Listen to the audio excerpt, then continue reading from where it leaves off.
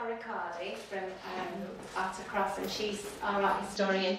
And we've got six of the nine artists who are in our current exhibition. Now we're going to talk a little bit about the too. And you, there will be um, a break in the middle, so you can stop there. And is it questions at the end, Sara, or questions? We hope so. We hope to have time. Yes. So you don't want them to interrupt while you're talking. Well, unless you are really bursting for any question. We, we, we will try to keep a steady schedule so that you have time to discuss at the end. Okay, so thank you. I'll hand over to Sara. Right, thank you, Catherine. So where the fire exits were. The fire exit, you have to break that window. it's the door you came in. right, I'm really delighted to be taking part in this tonight. And because the theme of materials, which is the theme of this exhibition, is extremely stimulating as a theme. As viewers, us rather than makers, it can not always be immediate to think about all the process that's behind an artwork when we are faced with it in its final stage. But actually, all those processes are absolutely vital and are part of the final object. And moreover, to me, as an art historian, it's very important when I look at a piece of art and I try to analyze it and to understand it, to place it in that reticulum of connections with other pieces of art. I always start from the object itself and from its material characteristics. And even if I don't know who the artist is, or when or where a piece of art has been made, if I can collect some information about its material qualities, it is already a reliable starting point. So it was a real delight and a privilege to be able to discuss this theme so deeply with such a varied array of talents. And I would like to start with Susan, whose practice um, is very based on the materials and her kind of manipulation of it is absolutely unique. Um, I will just start with a question, but you can go and express whatever you feel. Would you consider that first you realized the, that the material qualities of the media you were using allowed to certain effects and then went on exploring them? Or did you first wanted to put uh, your research towards certain visual effects and search for media that allowed you to do that? Um, I think to begin with, I was just uh, really interested in the idea of the gesso ground. Um, I first came across it when I was my first year on foundation at art school, and um, someone, one of the tutors or someone said this is the artist Bible. It was Ralph Mayer book of um, painting and the history of materials. So I was going through this kind of huge recipe book of, of pigments and, and all these different types of paints, encaustic, gesso, um, and various um, substances. And what really struck me um, about the idea of gesso um, was the fact that it had been used for centuries um, that Michelangelo, um, painters since the Renaissance have used it as a ground to paint on. So to begin with, I, I didn't really go into um, go into using it with any particular idea in mind. Um, what I did was I just wanted to experience the making of it, and, and traditionally it's white because it's made with calcium carbonate or chalk, um, as I said, a, a, as a ground to paint on. Um, so at that time, techniques and various things like that weren't taught in art schools. It was very much up to your own kind of way of researching and going about it. But I did find a tutor who had used it in the past, um, who who kind of led me to um, using it, and I had to do it in the workshop because of the heating of the um, rabbit skin glue, etc. So I followed the recipe basically, um, and to, to, begin with, I did it wrong. Um, the surface cracked and it peeled off. And I used um, the rabbit skin glue beforehand and I put too much on. So all these kind of accidents happened, um, which I thought actually were quite interesting. Um, and then I learned how to do it properly and to make a pure marble surface and to rub it down and sand it down, which was fantastic. But then I kind of went back to thinking about the mistakes that I'd made and how in some ways that was quite unique and quite interesting. Um, so I made these paintings um, that, and they all cracked and my tutor said, this is bearing in mind this is art school when you're you're encouraged to experiment and push the boundaries.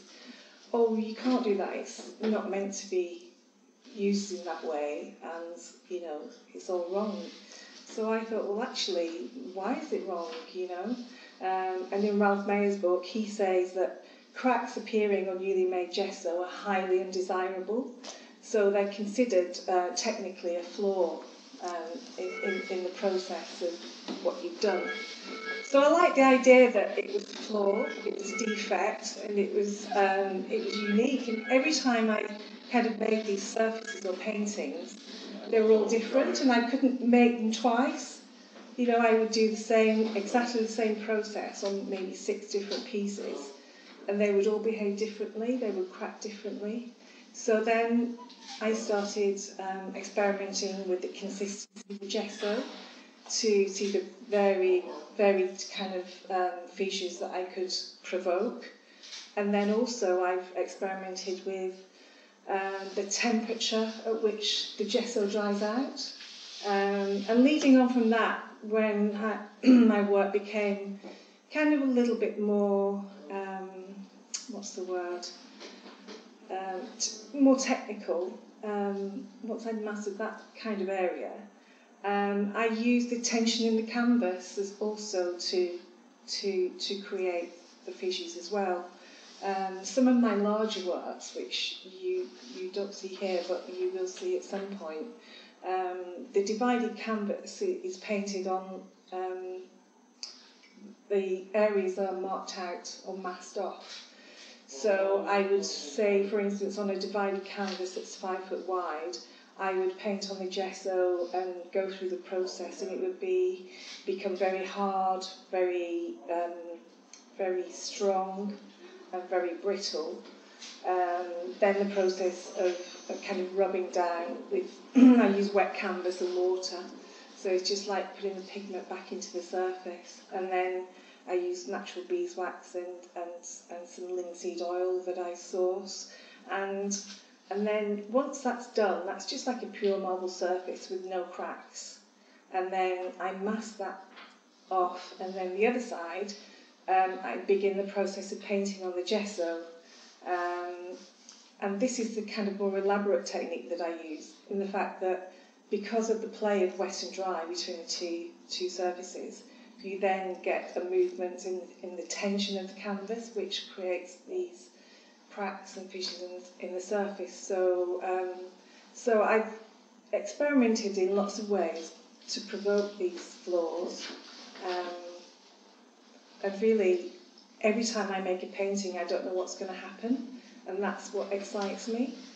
Because to begin with, when I was at art school, I, I, I'd always been technically quite good at drawing and making beautiful work, but I kind of had the idea progressively that I wanted to make something that um, was kind of outside of myself, that wasn't um, down to my technical brilliance, but was down to material because I actually fell in love with the surface. And and what what I really like about um, do making the work that I make is every time I make a painting, I think, oh, I could maybe do this a little bit differently, or I could do that a little bit differently, or um, you know, I, I, I still feel that there's so much more to explore.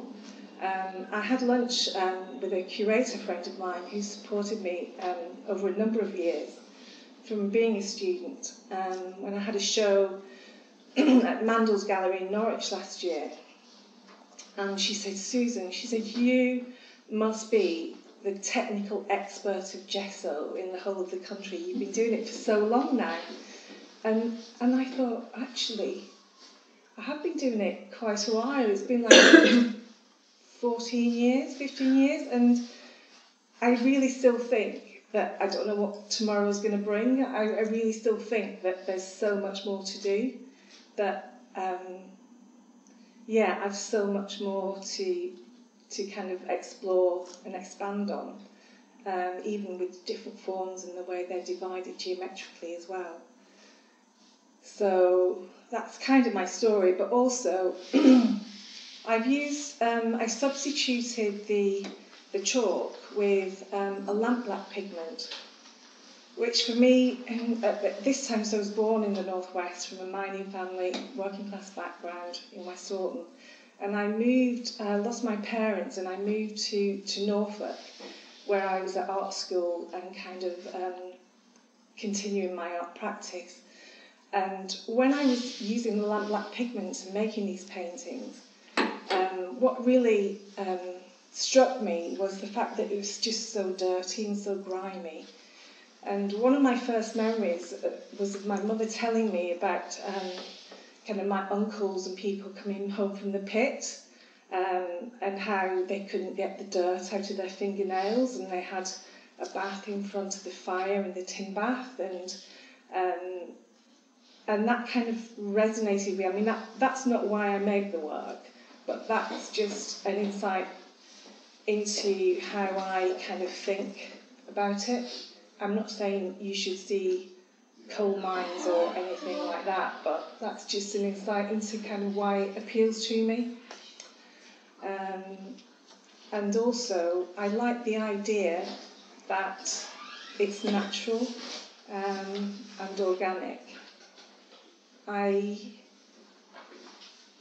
I like the idea that it's kind of alive somehow. So, thank you.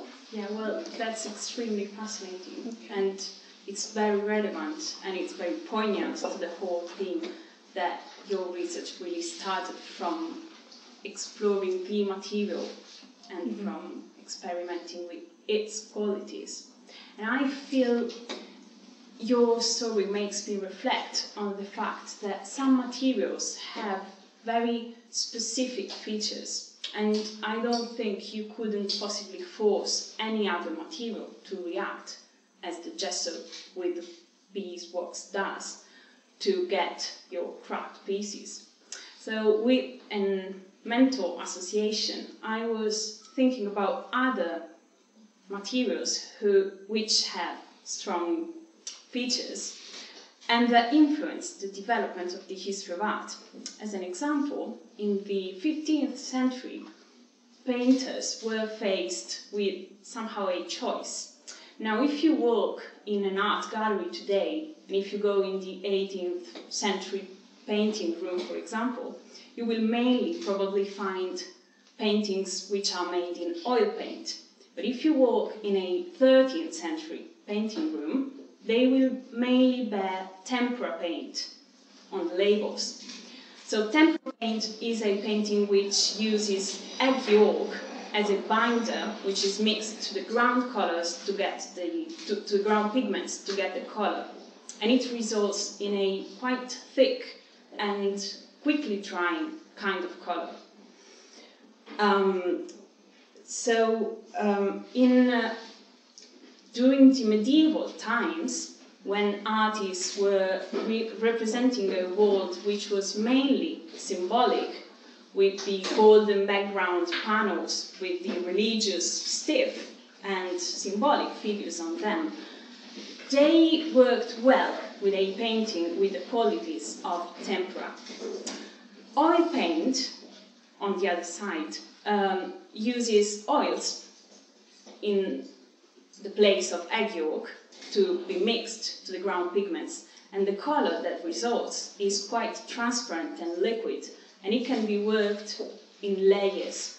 So if you can think, for example, at Flemish, Flemish painted, paintings, with all those reflections of light on metals, on brass, or the uh, glass jars half full of water, in which you can really see the transparency, you will see that these effects started to appear when Flemish painters began to experiment with oil paint, as effects of transparency are way easier to get with a liquid painting as oil. So why did artists in the 15th century begin to use oil instead of tempera? And this is somehow the, a similar question to the one uh, I started with. So we can't know whether they wanted to represent something new, something in a different way, and so sought for materials that would allow them to do so, or if they realized oil allowed to certain effect and went on exploring these effects. What we do know is that during the 15th century, there was being a shift in taste and artists were getting more interested in the representation of the naturalistic effects in the natural world, in the earthy world, and less interested in the medieval symbolic representations. And we also know that effects such as the reflections of light on metals or transparencies of water or glass do add to the feeling of naturalism in picture. So this uh, combination of the practical capacity and the qualities of different medias and the aesthetical research of the artist is very strict. And we, again, we can't know what happened, but I find it very fascinating to realize how the practical aspect influences the visual aesthetical result.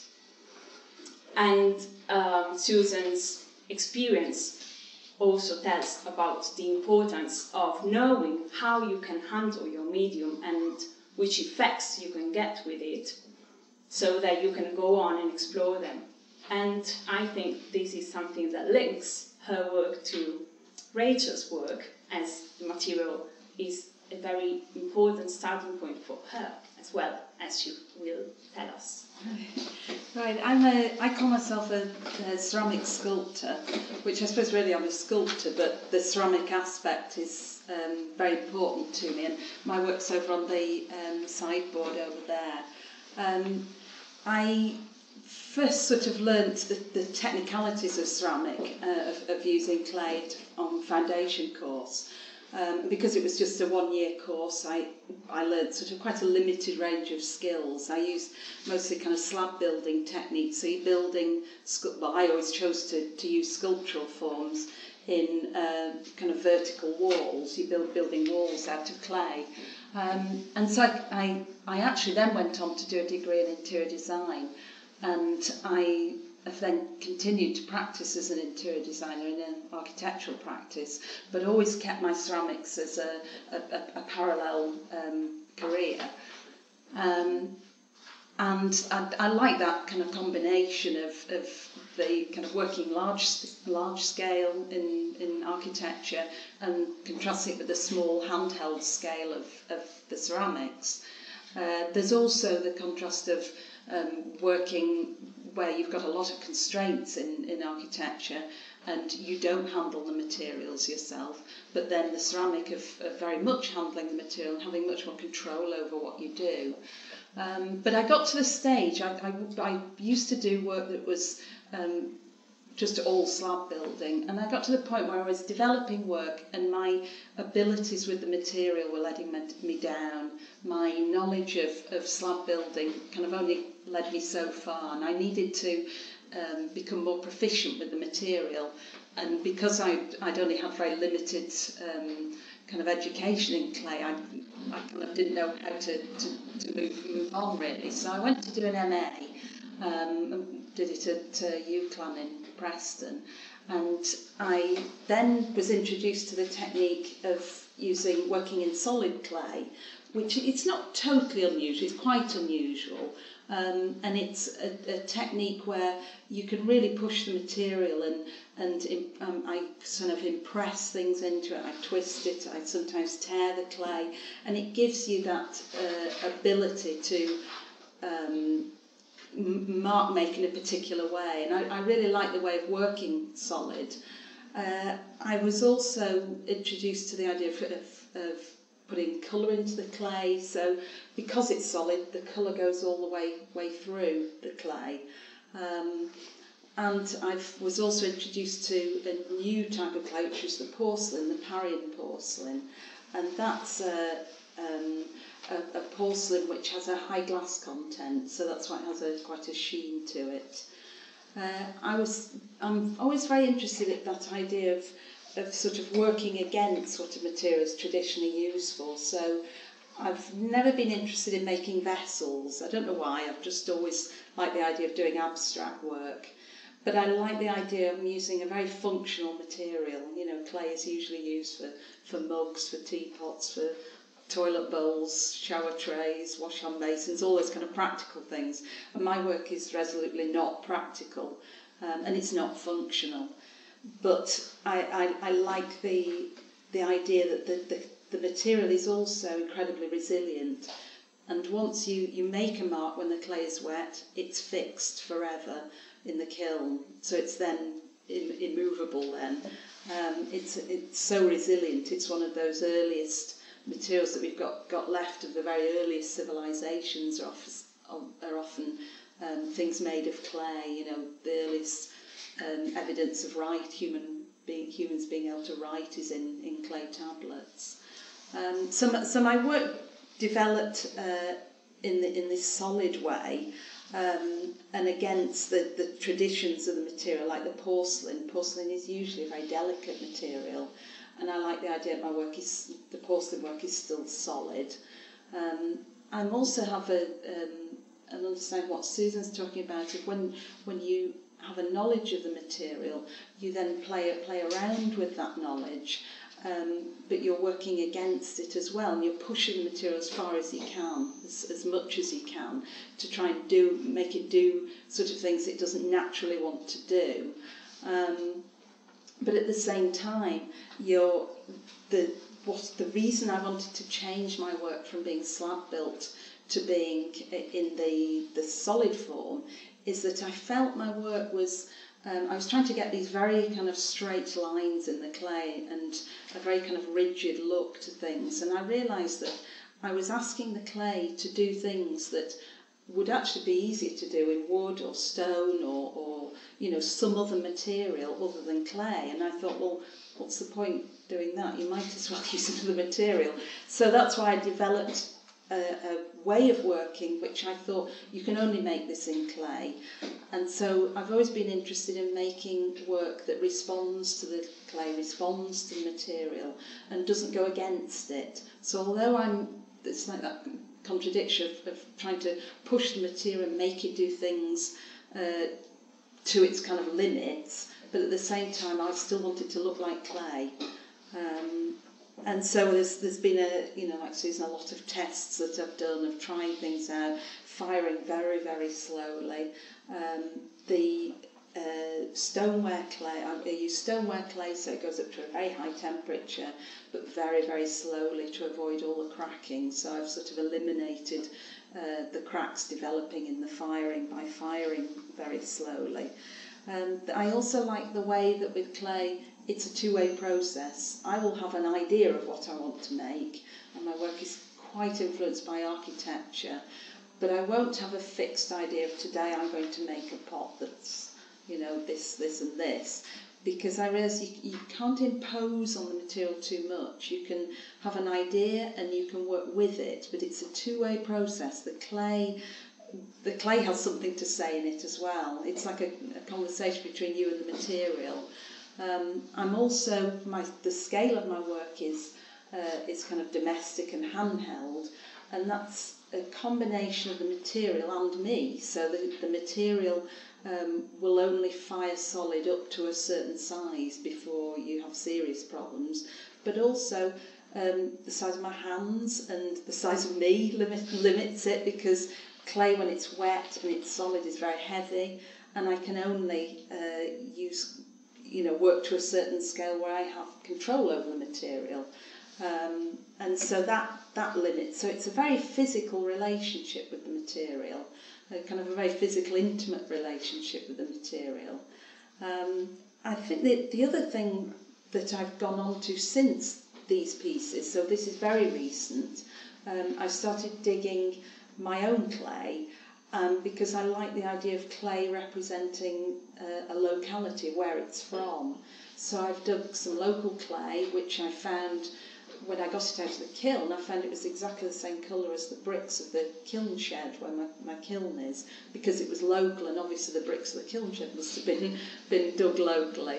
Um, and I did a ceramic residency in Rome earlier this year where I dug local clay in Rome, and that was interesting because I found that the colour of the clay was the colour of some of the, the buildings, but not the Roman buildings. They were much later buildings because I was obviously digging clay in an area that sort of rena- post-Renaissance buildings were their their clay bricks were, were dug there, and that was an interesting way of understanding and appreciating uh, a foreign city and getting to know it and responding to it, uh, and so. I'm sort of moving into the idea that my work is about the clay, it's about material, but it's also about locality, and it's about how you uh, respond to a locality and how your work represents uh, both you, but also the place that it's made or the place that it's from. Um, and I think that's.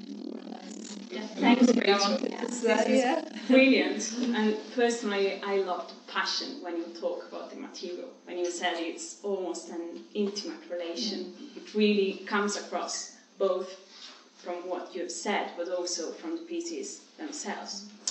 Um, it's very relevant that you mentioned that clay does something that other materials don't do. And some things you were trying to do, you thought, well, I could do that in other materials, such as wood or marble, you said. Um, that's nice because in the, uh, well, from the 15th, 16th century, there has been a whole dispute on the, in the field of sculpture about the different materials that are used for sculptures, which were divided depending on the ways in which they had to be worked.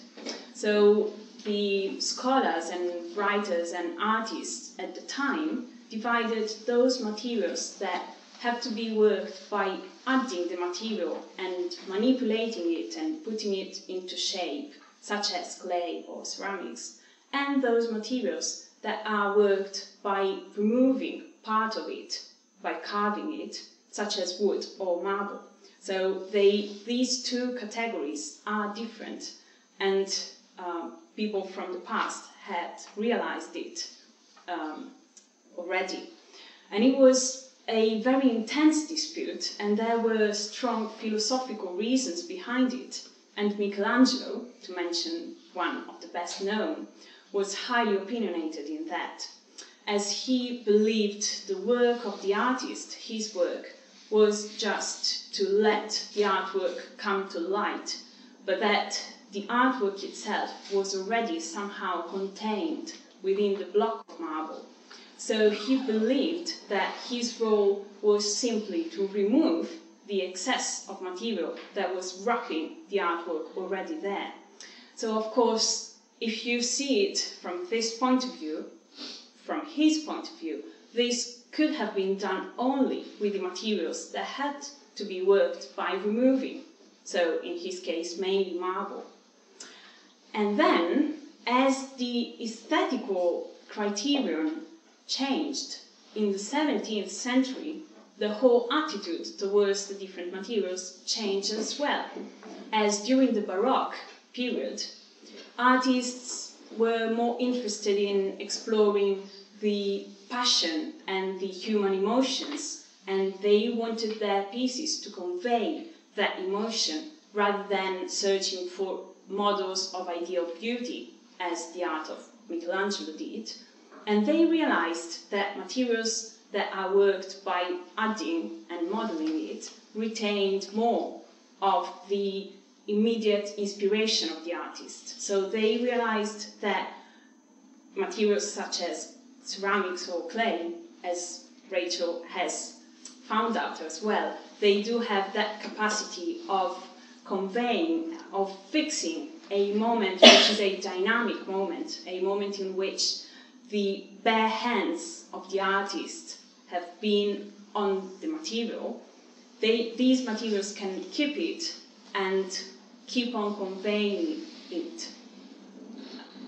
Um, actually, during the Baroque, the final pieces were still in marble most of the times, but artists began to create clay models first so that they could create the image with the impression of their inspiration and that they based the final pieces on that model to try and keep that dynamic quality on the final piece. So again, this is another way of looking at how the practical aspects of material have a great influence and they have even been object of philosophical bias. Um, so to move on, to move on, uh, in your in so, so far we have seen how artists can start from the material and from the material's quality, starting from that, and then seeing where the research takes them. But I think it can also happen the other way around. So there can be a concept, a strong idea, and then there, there can be a research of materials that can somehow allow to convey that concept. So Emma, do you want to talk a bit about that?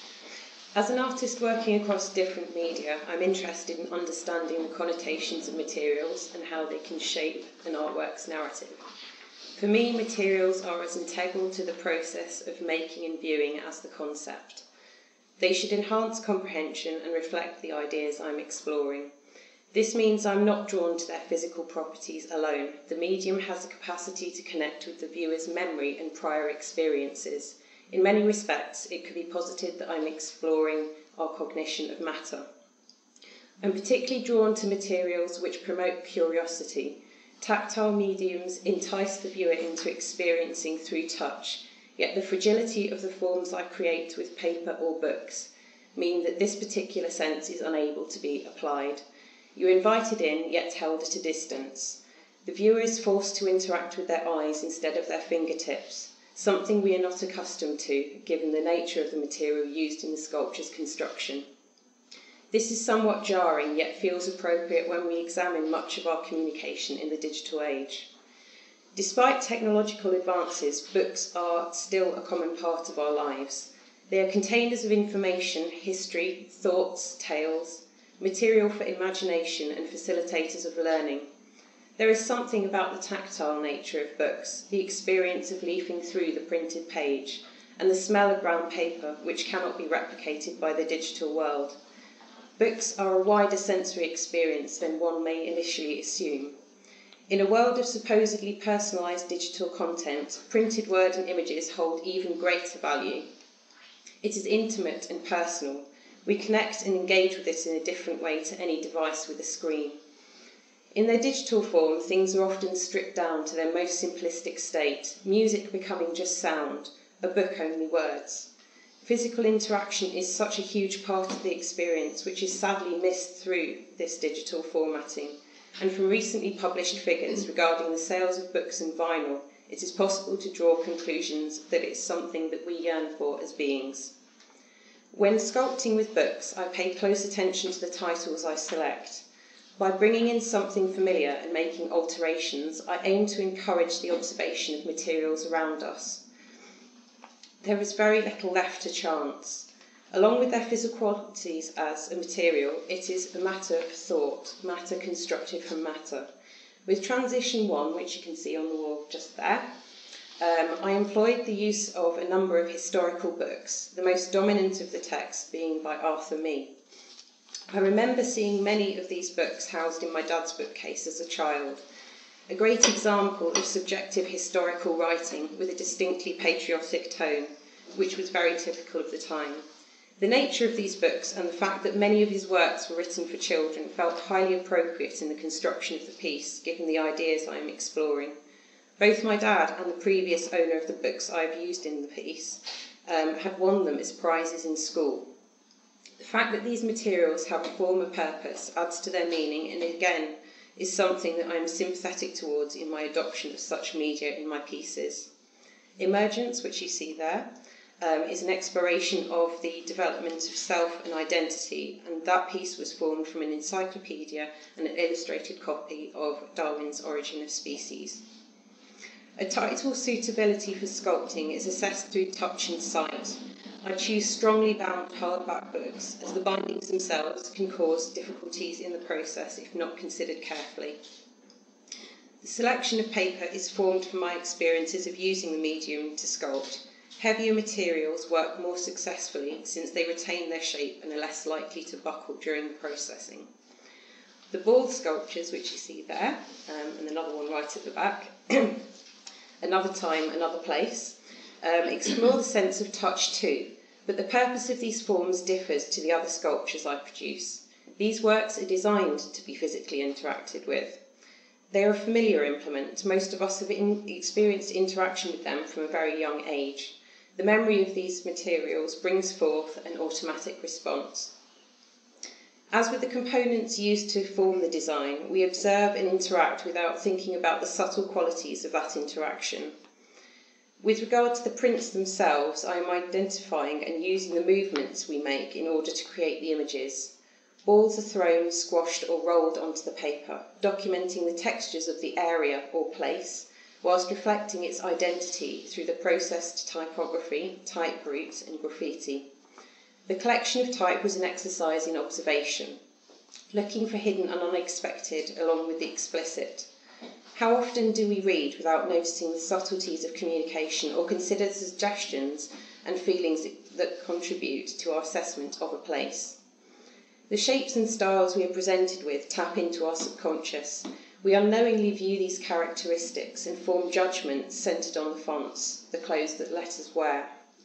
Rendering in gridlock, which are the two pieces down the corridor at the back, um, an expansion of these ideas.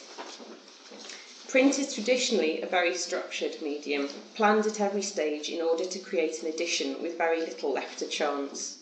I have spent a number of years exploring the idea of print being the first step and not the final. Drawing has long been used as a way for artists to take visual notes, quickly capture information and organise, a tool for processing. The medium drawing is often seen as immediate, flexible and economic. The reworked prints I create turn this premise on its head. Drawing extends the process of making its marks are confined, restricted by the parameters provided by the graph paper's grid. My process certainly reflects the intimate nature of drawing, yet the information contained within each square is flat, simplification of the underlying printed tones, the detail and chaos of the print imposed upon in order to for, be forced to adhere to the structure. These preconceived ideas regarding drawing, in combination with the printmaking processes, lend themselves particularly well to the articulation of the concept. The general assumption is that text is the most effective way of communicating, that there it is before us in black and white. We are able to read what is written many times over to clarify a position or idea. With this premise in mind, we share and read written communication, many of us publishing our thoughts regularly to the world without consideration that it too can be fallible. It assumes a certain level of comprehension within the readership, and that words cannot be misread or understood differently. In this way, the prints I produce are an extension of the exploration with the books, raising questions about the foundations of our thoughts, communication, our understandings, beliefs, and identity.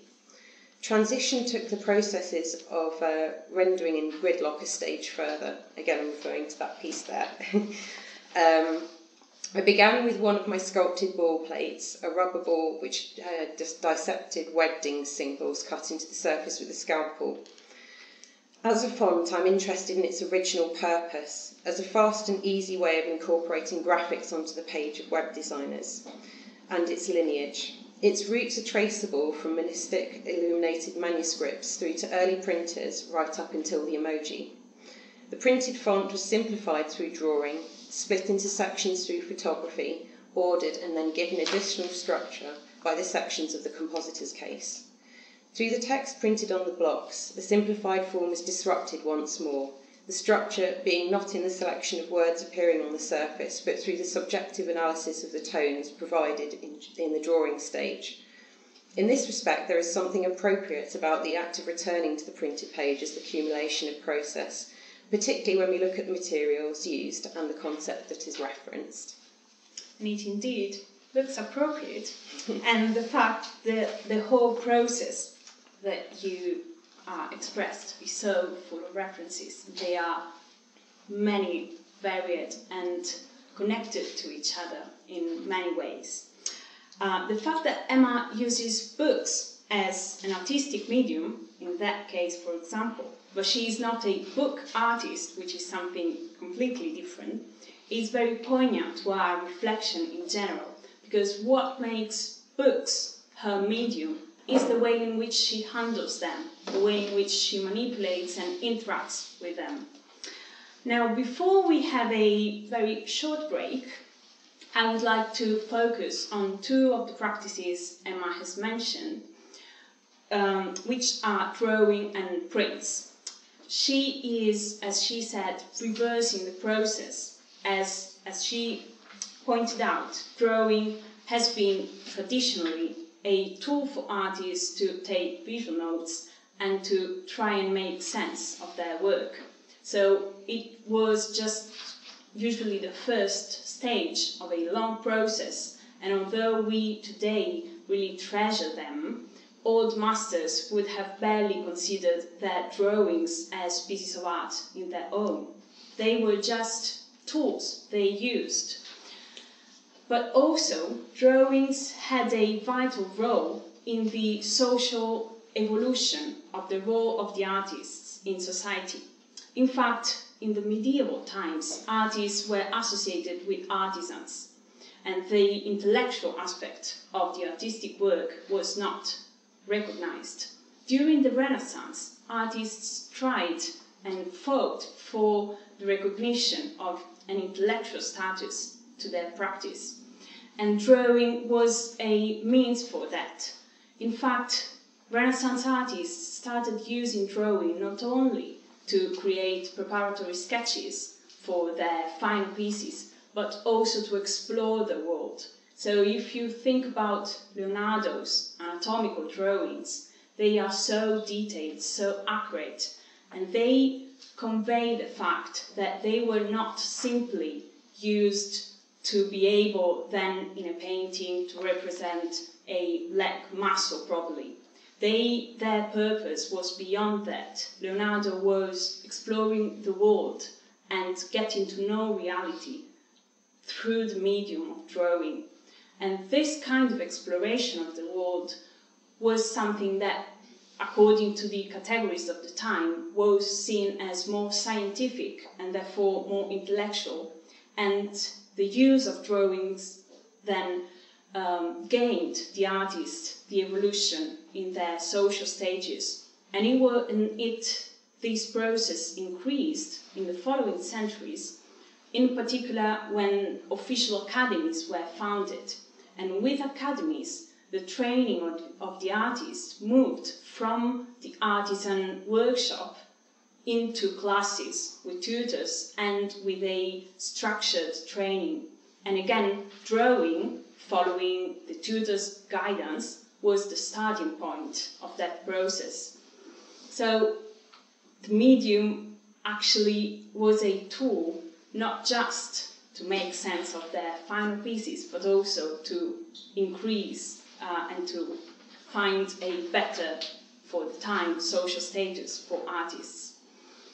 And it was the, the first stage, traditionally, in the practice, it was the first stage. Prints, on the other hand, were graphic forms meant to be spread.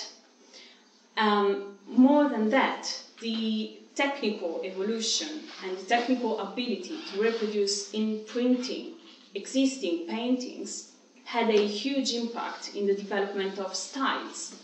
Uh, it prints, which is a technical ability, has a major relevance for the history of art as a discipline, because some styles would have never been developed if artists were, um, had not been able to know styles that were developing in other countries. In fact, if you imagine Caravaggio, for example, his art owes a lot to the Northern European um, everyday scenes that inspired him and let him produce the striking representations of sacred subjects represented as common people. Caravaggio was able to imagine something like this also thanks to the impact of Northern European images that he couldn't possibly see in the flesh, as in the 17th century, traveling from Italy to, for example, the north of Belgium was a very demanding journey, and very few people were able to undertake it. But Caravaggio was able to see prints of the Northern European pictures, and therefore that influenced is his art and his style. So again, drawing helped artists in, together with other things to improve their social conditions, and prints um, influenced highly the styles that were developing. So other stimuli and other ideas of thinking about how strongly the material aspect can influence the whole artistic process. And thinking about how traditionally they have been used makes even more relevant how Emma today can take that ancient those ancient practices and reverse the order between printing and drawing. So now if you all agree we can stand up, stretch a bit for five minutes and then we will be back. Right, we'll just start again and with Emma we we have seen some quite unconventional media, such as books used as artistic medium, and I said we will be back with more unconventional media. So I will let Jane talk about her view on the materials and how she uses them and how she handles them. Right. well, as you can see from my work, which are textile pieces, paintings, um, some of the work that's in Gladstones at the back. Yeah, went back. Um, I, I work in a variety of media. Um, I've been des- described as being rhizomic in the way that I work because I, I, I will go along a path and then I'll take another direction and then I'll take another direction. But, but my themes always tend to be the same. Um, I'm heavily research based work, so I read an awful lot about my subject matter. My themes are the continuing human condition, so I, I look at from the Paleolithic, Neolithic, through all the centuries to our contemporary time. And that's brought me to an understanding of how women have very much been left out of um, our common history. We're only just beginning to sort of rediscover the role that women have, had in the past. I'm also interested in, in the state of our environment at the moment.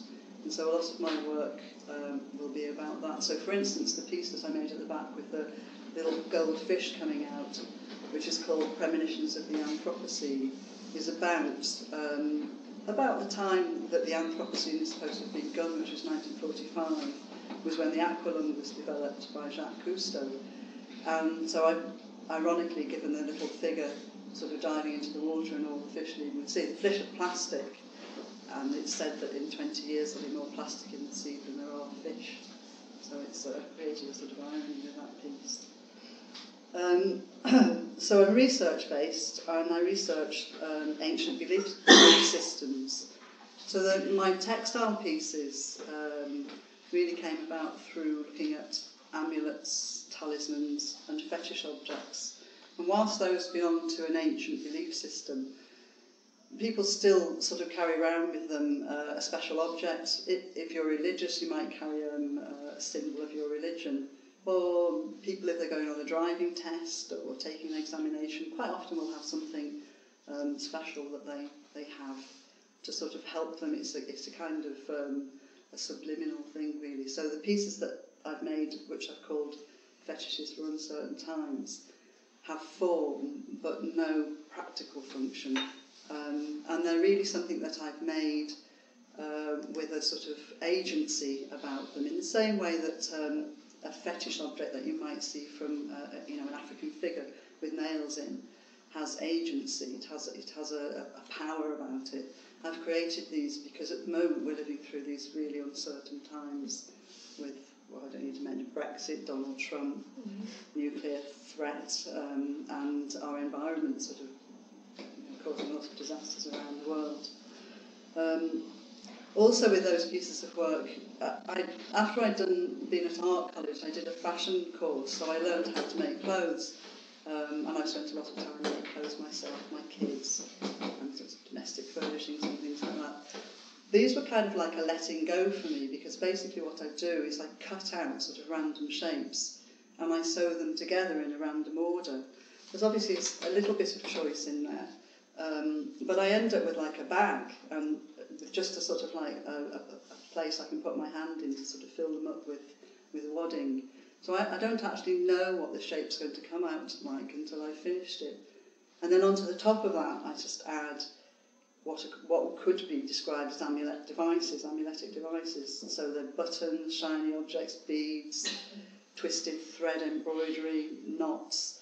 And these are all things that are supposed to be um, connected to amulets. Um, so that's all part of the sort of power of the object. And then the stands, I, I didn't really want to have them just on an ordinary plinth. So I was at the Hepworth a few months ago and at the exhibition there I noticed they had some quite nice stands that, that sort of allowed the air underneath the object. So we have a local blacksmith, I thought I'd go and ask him if he'd make these stands for me, which he, he very kindly did for a fee. um, I be, feel like I belong to sort of like a long tradition of females making clothing, making fabrics. If you go right back to the beginning of time, um, women would have prepared skins much in the way that the, the Sami people or the Inuit people do. Um, and then felt was made, and then, I mean, I, I do believe, in, from what I've read, that women probably invented weaving. Um, so I feel like I belong to a sort of long line of producers of things with cloth, but also a long line through my family as well.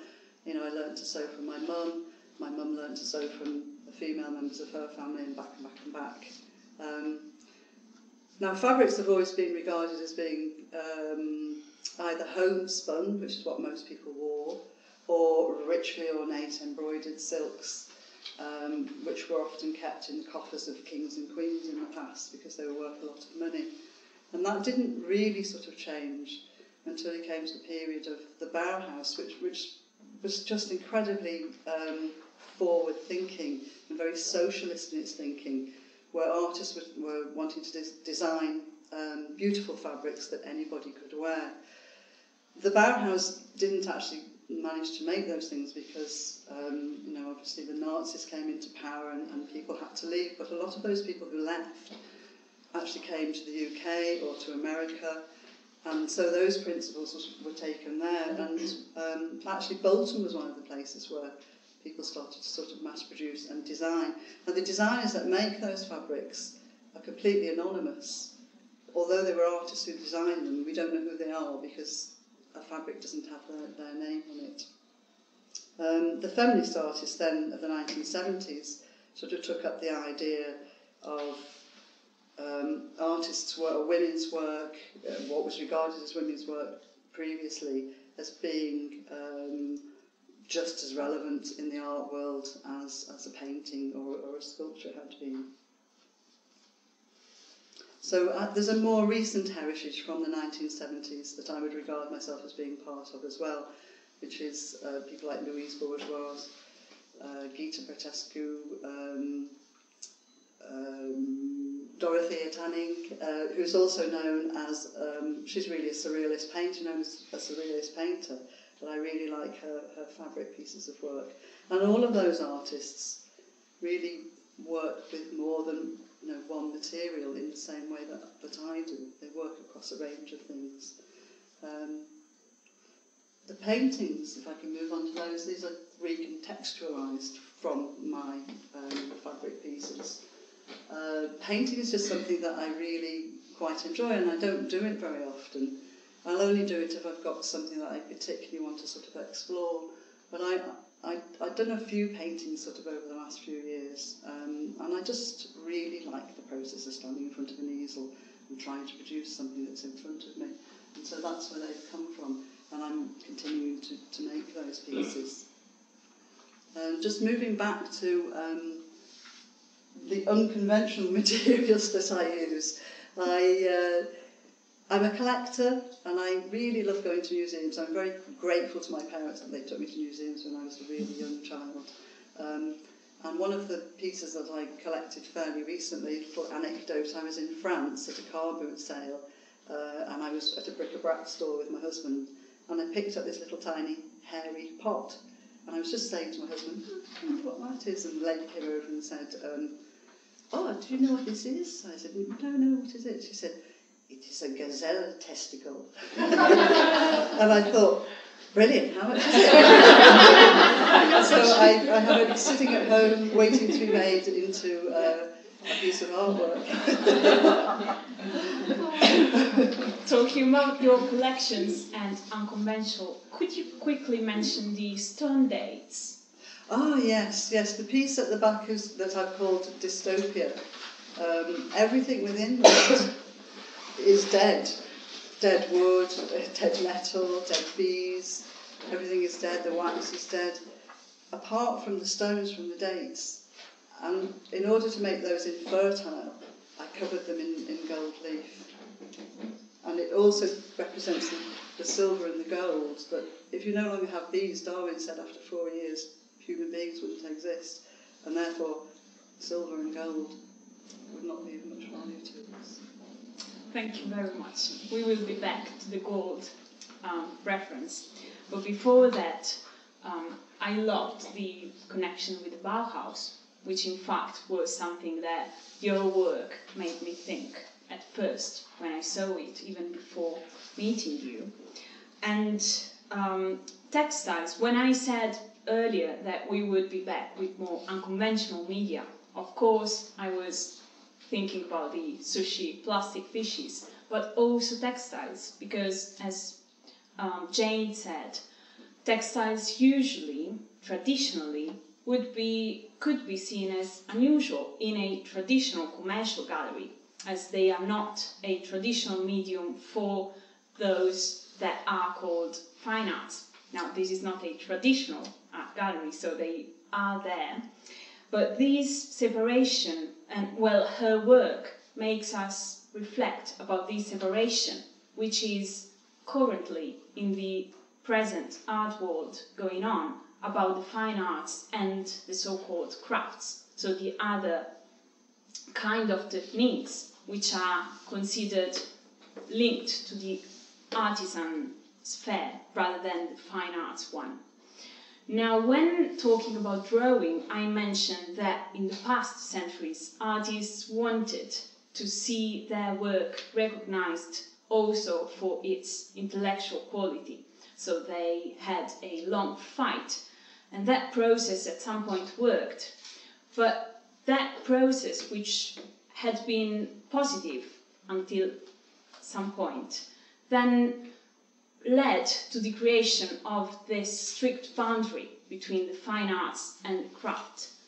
And this apparently does not satisfy fully the entire artistic community. And the example of the Bauhaus tells us that it has not been doing so for more than a century now. So the Bauhaus was founded in 1919 by architect and artist Walter Gropius in Germany, and it was in its founding um, idea a democratic art school. So it was democratic in the sense that there was not a strict hierarchy between students and tutors, but rather it was created for sharing and collaborating. And there wasn't a hierarchy regarding the techniques either. So you could find there courses on most varied kind of techniques.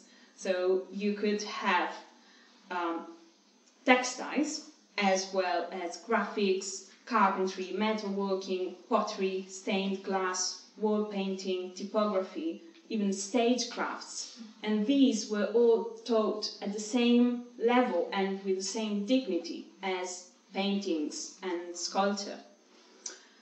And indeed, design was kept in a very high consideration because of complex social um, elements that had to do with the industrial um, improvement and with the new industrial era.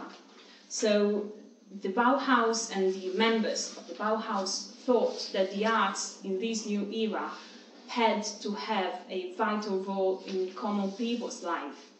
And they even used some industrial processes and industrial materials to create the artworks in a ideological for, with an ideological choice. So using those materials for a practice which was an artistic practice um, aimed somehow to counterbalance the devaluing effects that the industrial boom was having on common people's lives.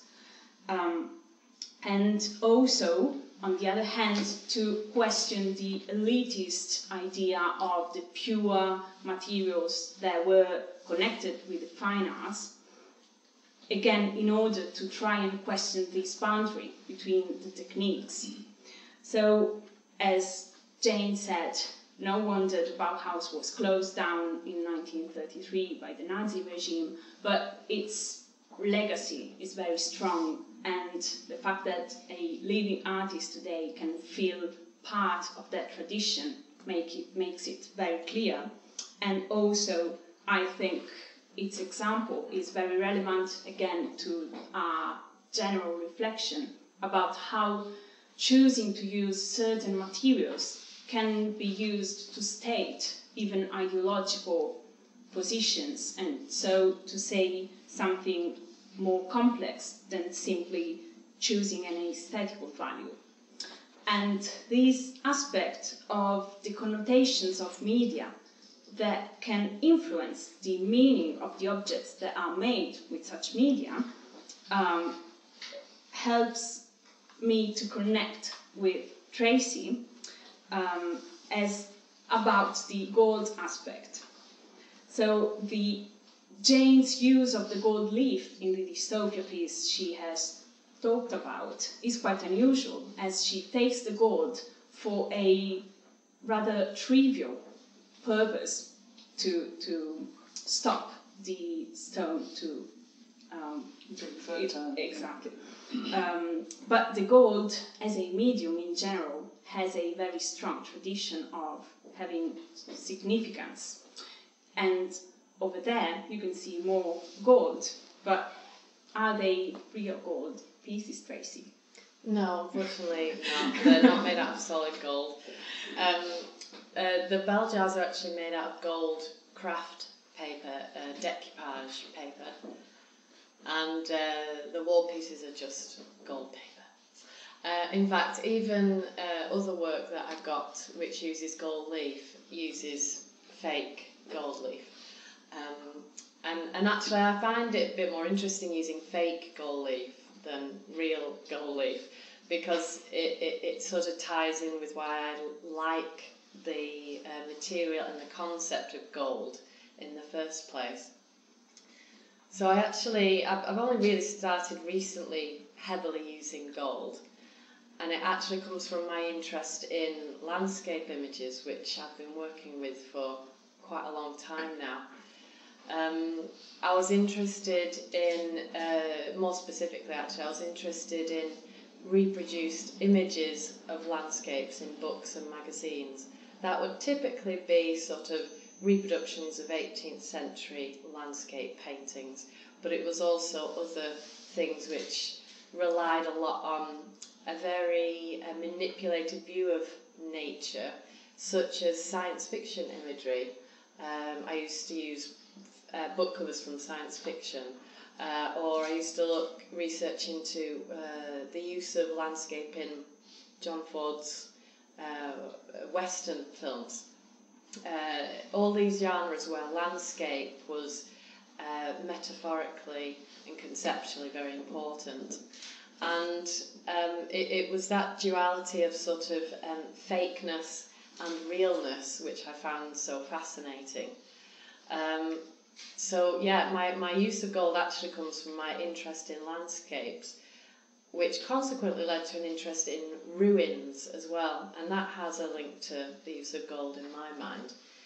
because I find the the this sort of the practice of conservation very interesting. Uh, the conservation of ruins. If, for example, you the, uh, you look back to the 1970s, there was a real shift in how we treat ruins in our in our country. Before then, if we wanted to sort of protect or conserve a ruin, we would um, we would repair it in a way that hid the repair, so it looked like it hadn't been repaired. And in the 1970s, there was this shift which said that oh, actually, you should make the repair look modern, so then you know what is what is modern and what is authentic, you know, real, original stonework. And that for me is a really interesting shift um, in terms of how we how we like to look at the environment around us, how we like to conserve it, how we like to uh, articulate it as well. Uh, and that, that sort of uh, links to my interest in landscape, my interest in architectural ruins, the conservation of, but also my interest in gold, uh, both as a material and gold as a concept. Um, I find gold so interesting because it it, it's so valued and it's so beautiful. It's so esoteric, yet it's so cheap and like nasty at the same time. Often, uh, it, you know, you, it's actually if you have gold in front of you, it looks uh, fake. You know, like uh, if you see a gold bullion, it looks like a fake gold bullion. You can't really uh, distinguish real gold from fake gold, and I find that very interesting.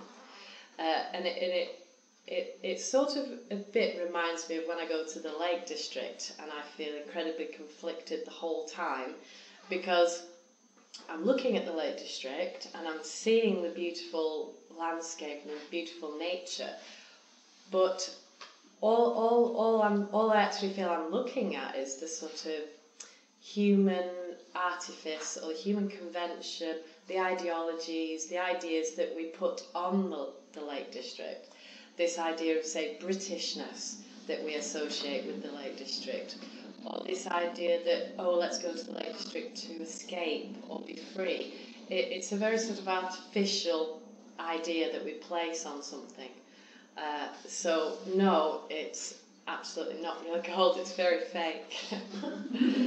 um, uh, I, I do just want to say thank you so much, Sara, for organising this. I found I found the int- uh, and Saul Hay for putting it on. I found the relationship between materials and history really interesting, um, and it's sort of awakened the idea in my mind as something I would like to think and work with more. Uh, me- partly because it does have that really strong link to my use of gold and how how certain materials do have such an interesting link to um, concepts of history, concepts of heritage, um, and I think it is an overlooked area of research that would be nice to, to think more about. Um, in particular, what meeting with you and hearing everyone speak has made me think about more is uh, this interesting place of being in between two dimensional work and sculptural work, uh, and this sort of middle ground. Uh, and also this middle ground of being between fine art and craft. Uh, I work in collage or paper cutting, or all of my work is with paper. And paper itself is a very crafty material.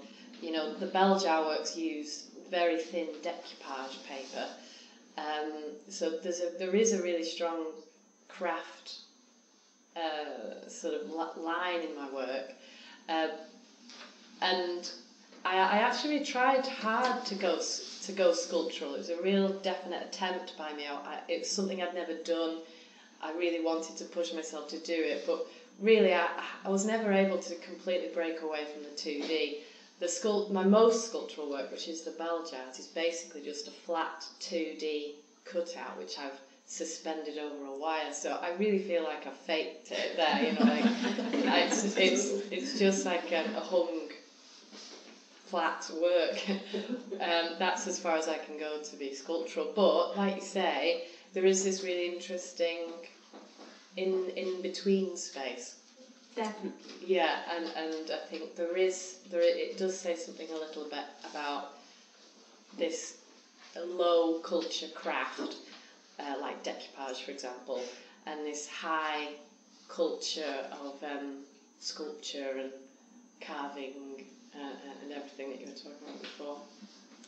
Well, apparently this separation wants to be questioned, or at least there are people who want to question it. So you will have uh, space to explore. Excellent. And about, and about the sculptural quality quality of your work, to me, the three well the framed and hung paper cut do retain some kind of sculptural qualities, both because from here, for example, I can see the three dimensionality of the piece of paper. Although it is a minimal three dimensionality, it does um, have a shadow on the on the black uh, on the white background. So I can see some tiny but still existent three dimensionality, and also the process of the paper cut to me can feel more similar to carving than painting. So I can definitely see that connection. And in your work, to me, the hung pieces are more sculptural than the bell jars actually. So it's interesting, and I'm sure you are pushing these boundaries. Going back to the gold and the use of gold, um, it is very interesting how Jane, uh, well, how Tracey decides to not to use the real material, but still she somehow relies on the meaning of that material, and she um, she is in a connection with us as viewers, as she knows. We will connect when we see gold, we will connect it to a series of ideas, and the simple look of it will evoke many meanings behind it. So even not, even just by faking it, she doesn't need anymore to use it, but simply um, having the appearance of it. It is partly of the method that she is conveying by choosing to use that. Now, the practice of faking the use of gold is as ancient as the Middle Ages, actually. Uh, there exists a fantastic technical treatise written at the turn of the 15th century by an Italian artist, which in his English translation is called the Craftsman Handbook. So it retains the artisan sphere in which artists were in the Middle Ages. And this is a technical treatise in which you can find almost all the techniques that existed in a traditional artistic workshop in the Middle Ages. So it's a real gem for anyone interested in the history of materials. And in the chapter about wall painting, the author spends a few lines about the application of gold leaf. And he says that gold leaf is particularly suitable for the figure of the Virgin Mary. So he states very clearly how strongly the material is connected to religious meanings and to the religious figure. And religion in medieval times was way more embedded in the daily life of people than it is today. Um, because of this, the author also warns about using fake materials, and he acknowledge, acknowledges the fact that gold is expensive, but he says that it works better than any other material. And in fact, and I'm quoting now, he states, if you wish to reply that a poor person cannot make the outlay, I answer that if you do your work well and spend time on your jobs and good colours, you will get such a reputation that a wealthy person will come to compensate you. And he, he adds, even if you were not adequately paid, God and Our Lady will reward you for it. so, in his medieval conception, using pure gold was a religious act, meant that the artist had a pure devotion and would eventually gain the artist the divine reward. So this is how strongly the material quality were connected to symbolic meanings in medieval times. And that's why um, he uh, pointed out that it was better not to use alternative materials such as gold and tin, which was a practice widespread, but he, as a purist of the practice, um, advised not to use alternative materials. Clearly, this doesn't apply to Tracey's work, as um, in her work, it's a, as she said, it is a choice that she's not using real material because her research is about a more complex, um, the more complex layers of the use of the material and the meanings behind it. But she is part of that tradition which starts from sentences like these. And this is in our culture, although we cannot be aware of it. When we see gold, the centuries of consideration of the material as a even religious object uh, influence the way in which we look at it. And um, the challenging of the two-dimensional and three-dimensional boundaries is also an aspect. And that's the aspect that will link you to our last artist, which is Diana, as I feel um, there's a lot of challenging boundaries and exploring the textual aspects in your work as well. Thank you. Um, I'm, I'm just minded of uh, a conversation that uh, I had a long time ago when uh, the head of sculpture came in to look at some degree shows and uh, at a sweeping glance said, I, I love looking at the work of uh, the ceramics and silversmiths because it's so humble. And this kind of um, overarching uh, judgment about the difference between craft and fine art was just completely embedded in the whole art school structure. Um, to that extent where he felt he could make this sort of value judgment.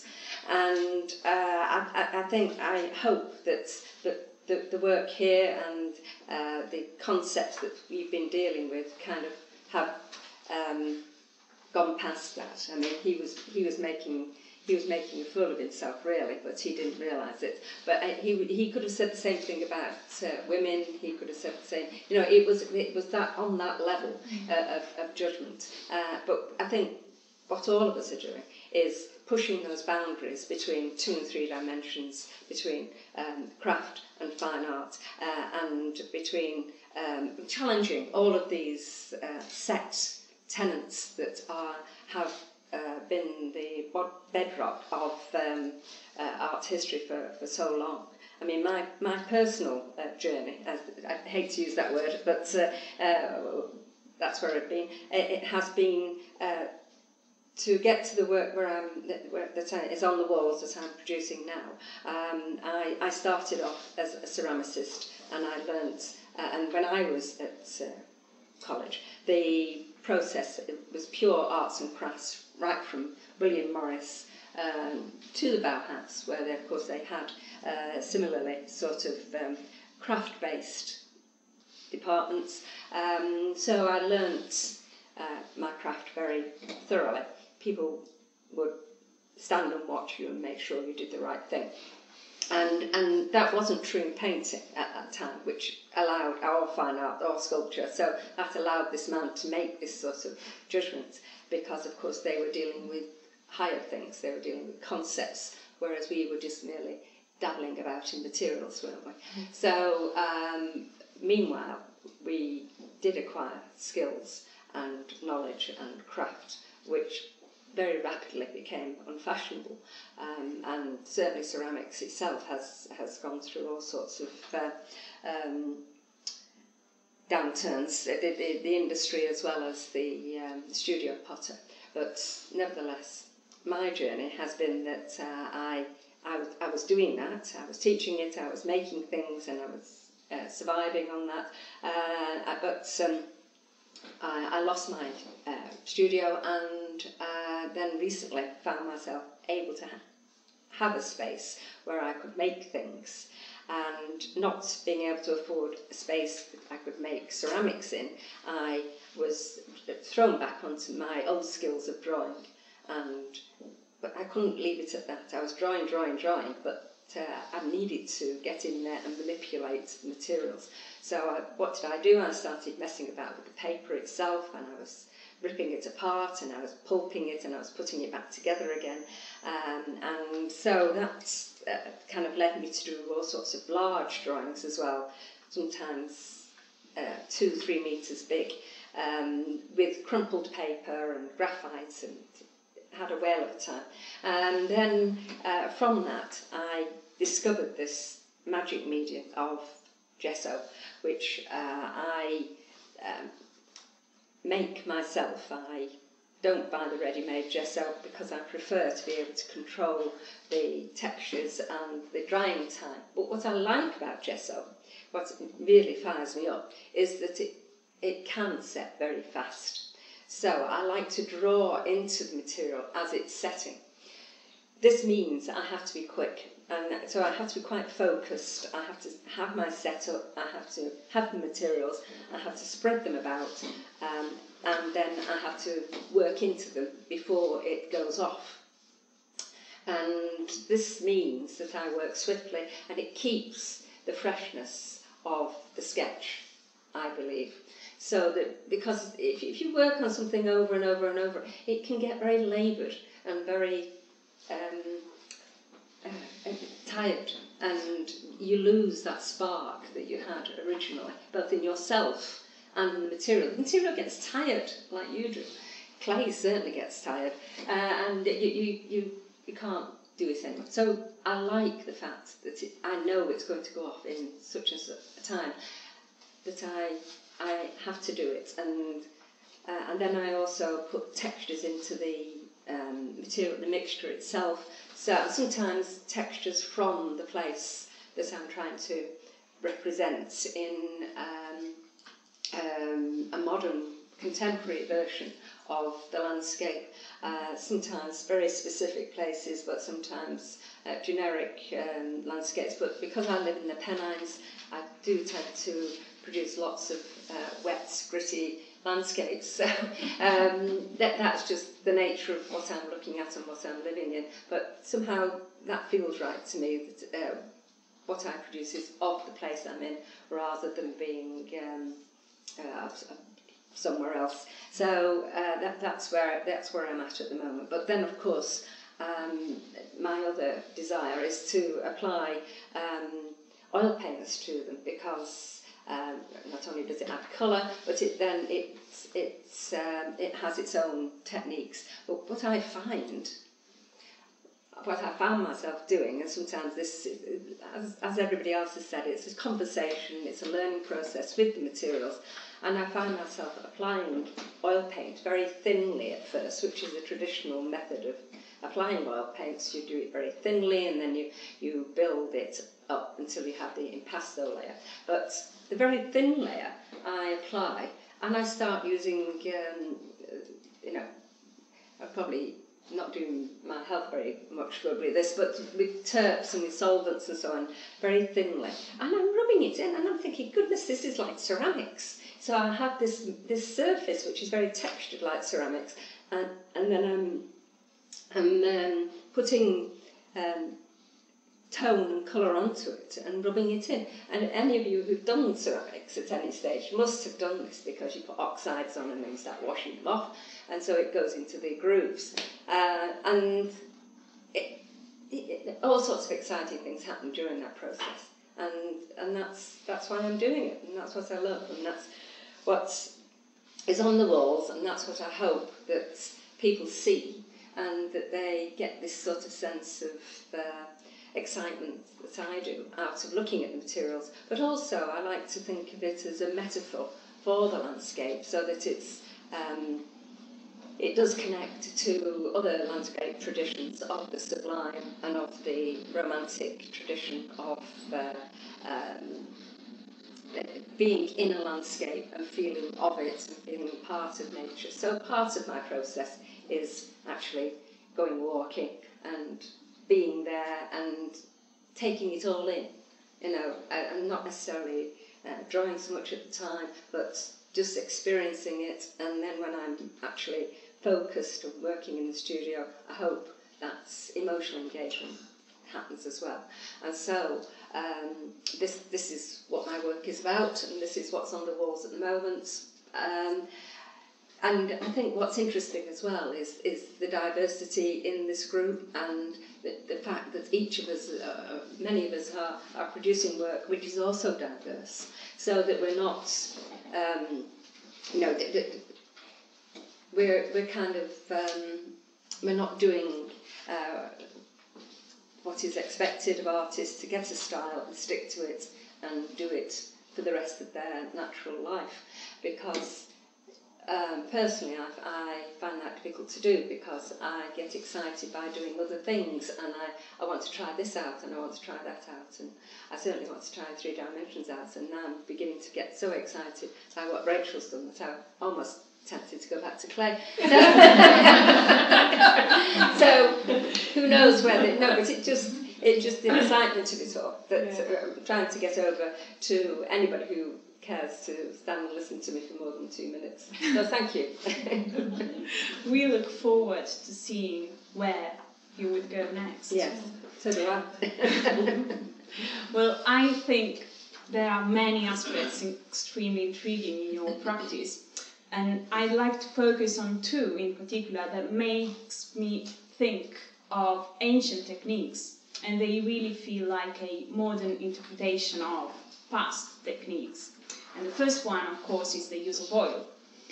The idea of manipulating oil paint so that the surface of the canvas is not completely flat. It has an old centuries tradition and it began roughly around the 19th century when first some distinctive painters uh, began to explore other ways of using oil paint. As we have seen at the beginning, oil paint became to be fa- favored around the 15th century, and for many centuries, three actually, well, three or four centuries, it was used mainly to create very polished and flat surfaces. But then, at the beginning of the 19th century, some artists began to do things a bit differently. So, William Turner is a great example, and his the development of his career and the development of his use of oil paint is extremely interesting. As at the beginning of his production, if you can imagine some of the big pieces that are in the National Gallery, for example, he created the traditional polished, flat, luminous, brilliant surfaces as he was inspired by the old landscape masters such as Claude Lorrain, whom he venerated. But then gradually, when his aesthetical research developed and he became closer to the Romanticism, and so his relation to the landscape became more immediate and more intimate, his technique evolved accordingly, and his oil paint became more thick, and he started working it not only with brushes but with spatulas and with his own fingers as well, as I think Diana's, Diana also uses different tools. So that manipulation of the oil paint in a more and more textural way went together with the evolution of its, his relation to the landscape. So once more, a connect, there's a strong connection between the aesthetical and the concepts behind and how you manipulate the material, uh, in contrast with what um, the teacher thinking that ma- being able to manipulate materials was in contrast with having a concept behind. It is actually strictly connected. The second, the second aspect of your practice that makes me think, think the past centuries is the underdrawing on the gesso that Diana mentioned. So in that black and white piece over there, you can go later and have a closer look. There are incised lines on the gesso, and these are the lines that Diana uses to uh, create the composition, the first the basic lines of the composition. So this was the traditional way of having the underdrawing on frescoes. Fresco painting, as the word says, is a painting in which the artist has to work on the plaster which is applied on the wall as it is wet, which in Italian is fresco. So the word means that the plaster has to be wet um, while the artist works on it, so that while the plaster dries, the colors dry with with it, and it becomes one with the wall. The color become one with the wall, drying off together with the plaster, so it gets embedded in the material, and that's why fresco is so stable. But that, this means that the artist, as Diana says, uh, the artist has to be quick and work while the material is wet.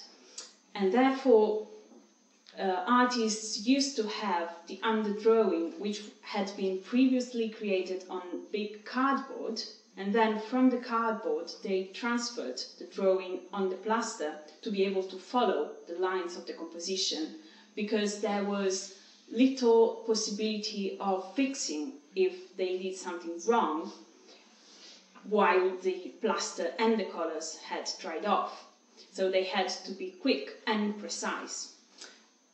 Additionally, very often fresco decorations were undertaken by a master with his assistants, and so the assistants had to reproduce the master drawing, the master project, and therefore the original drawing created by the master was transferred on the wall.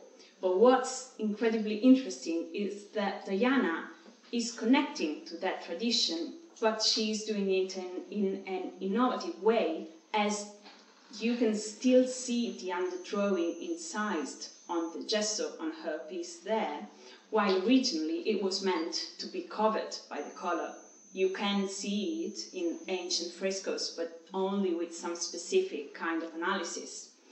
So again, it's a great connection and it's a great line in which you place yourself, but then always experimenting and working to find new solutions and new ways.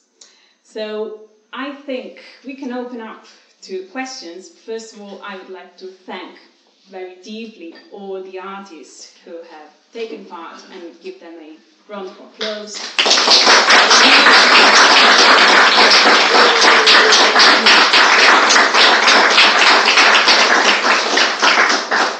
It, it has been a real pleasure. It has been a long process, but absolutely brilliant. And you only got few stimuli and few ideas. I had long conversations with them, so there's much more than I forced them to say. Thank you very much for sticking to the time schedule. You have done brilliantly. And we have time for questions, so I'm sure they would be very happy to answer if you have any. In hearing about each other's practice, does that make you want to maybe try other techniques yourselves or other materials? Yeah. well, Diana, Diana said something. Yeah, like oh, this. that's what made me think. Yeah. Oh, about, yeah. Yes, yeah, I'm tempted to go back to clay. Yeah. I'd, I'd like to know more about the people's work Mm-hmm. because at the preview I just got a quick glimpse in a very crowded room and then we met one another and I heard a bit about what people were doing. I've heard a lot more now and so I, I suppose I've got questions about what they've said, yeah. And I think as well that artists take time, you know, to absorb before they begin to create. So it may very well be that each of us, Yeah. you know, at some point in time in the future will will remember these conversations and, and think about, you know, oh, that's a possible way. Yeah. Yeah, I think ti- time is the uh, it, it's the fourth dimension, isn't it? it it's like what we all need in order to process uh, That's exactly right. creatively. Yeah. Yes. Yeah. Yeah. Yeah. I think it's important to be um, quite authentic and true to your own practice, but I think it's also good to be open-minded to other influences that may, you know, be appropriate to, Mm. to what you're kind of working on. Yeah. So, I, mean, I, I think with all of us, in very different ways, we're all quietly rebelling against something in, in our own discipline. Um, and that's, I think, great. Girl power. I think the fascination with the organic comes through quite strongly in everybody's work. And I mean, when I first came, I was really intrigued with Jane's work and the way you presented the textiles in a very sculptural way. I found that absolutely fascinating. And it, just really captivated me to look at more and more and then to transfer it into a, a two dimensional drawing made me reflect a little bit on, on how shape and form uh, was seen both three dimensional and two dimensional way. So I really, and, and the use of colour and structure within it, I just found it really, really wonderful. Thank you. I, I've been working with fabrics for quite a, a long period of time, um, but I've been making more sort of figurative work, and it was it's really sort of like again that absorption of ideas. I'd put in a proposal for um, a biennial over in Ireland a couple of years ago, uh, where I wanted to do a Sheela-na-gig figure, and I wanted to take it from the Sheela-na-gig figure into something that was much more abstract. I got rejected. So- but I went back to sort of my sketchbooks because I keep copious notes in my sketchbooks and uh, that and I was making a shaman costume at the time and I was reading I, was, I got uh, Louise Bourgeois' book on fabrics. Uh, I, I would reintroduce myself to Geta Brătescu's uh, fabric works um, and, and, and again Dorothea Tanning as I say um, seeing her at, at the Hepworth at the same time that I saw these um, different sort of plinths and it, those things just all came together. I think that's what happens. All these things come together at some point, and you know, out pops I your think new it's, idea. I think it's very refreshing. It's very refreshing to see those sculptural pieces in textiles. That's lovely feedback. Thank you very much. And what's great about them as well, I like them, uh, is the is the element of chance that you, with your skills, which you obviously have, uh, to actually start manufacturing them. But as you say, you don't really know what the final No, I don't. item will be like. So that's fabulous. and sometimes when they come out, I just think, oh God, that's awful. but I make myself work with it, and as I work with it, I dig in and like it more. Do you think that it's still quite organic? Because I'm reflecting back to, you know, Sue's work. Because your work strikes me as very organic in the way it comes through with the natural cracking and fissures, and I can see that in, in your landscapes as well with the gesso. Mm. and the way I think it's interesting what Jane said about working with something that maybe you don't like. Mm. what I found is over the years, this is just a tiny selection of my paintings, but over the years, the, the the paintings that I've wrestled the hardest with, that I've brought back from the brink, Mm. for me are the most Mm. kind of satisfying or um, most rewarding because they've been that close to like being lost. There seems to be that point you get to, and you think, this is dreadful. This is Yeah. like the worst thing. I'm about to bin it. And then you think, no, I'll, I'll just. And then because, somehow because it isn't precious anymore, Yes. you just Yeah. you Absolutely. do it. True. And it, oh, right, okay. Yeah. We've Yeah. gone, we're back on track now. Yes, Yeah. yes. Yeah. Just seems and to then happen. something magical happens. Yeah. Suddenly just yeah. I mean, I'm, um, I'm a colour, you know, I love colour, but I find this work just, it really made me think more about tone and structure and just, you know, I think the simplicity of it is just um, quite phenomenal.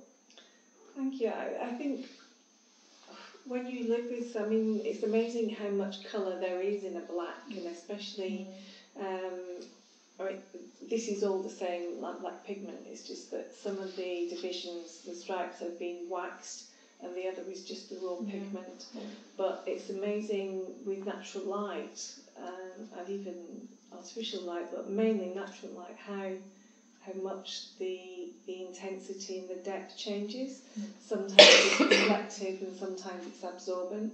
And I think obviously I've had the the experience of having lived with them over a period of time, and um, it, it is interesting the fact that the light changes everything and how things come forward and recede, and colour is reflected as well.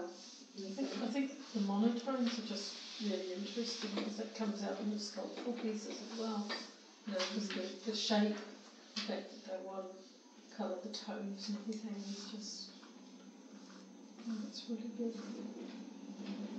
Um, I just want to say that what's really exciting me and um, my, my friend here is that being in amongst a load of female artists and that it's, it's not getting on a feminism, feminism um, hype but it's just really exciting to be around female artists who are working in an expanded practice and elevating the status of feminine crafts perceived feminine crafts. But also I think what's interesting is the way that um, you can tell you've wrestled your mediums, you can tell there's an intimate relation with how you all talk passionately about the, the different medias that you work with, and that is obviously exciting to hear, and your passion does show through in the work, definitely.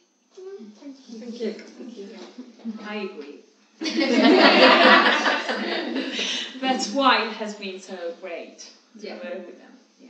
And it's very underpinned, that is clear, you, you research, you can tell, it just breathes the richness behind it, there's stuff going on, that's exciting too. Right. I think we can just enjoy the rest of the evening. Uh, you can have a look around again if you want. And thank you once more. Thank you so much to Catherine and Ian. And I must say, this exhibition was extremely well curated. It has been so easy to put together this group and to find elements of connection because it was all there. And it was really a fantastic event to be part of. So thank you, thank you for coming and enjoy